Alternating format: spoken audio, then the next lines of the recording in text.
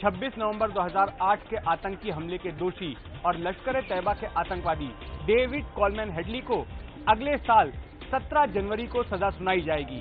मुंबई पर 26 ग्यारह को हुए आतंकी हमले के लिए हेडली ने कई ठिकानों की रेकी की थी।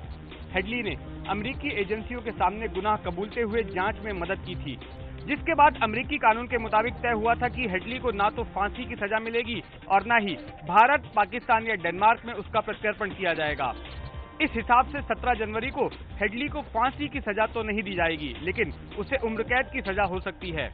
इसके अलावा तहूर राणा को भी अमेरिका के शिकागो की अदालत 15 जनवरी 2013 को सजा सुनाएगी।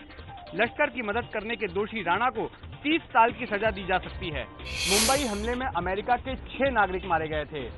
इन हमलों के सिलसिले में हेडली पर 12 आरोप लगाए गए थे, जिन्हें की हेडली ने कबूल कर लिया था।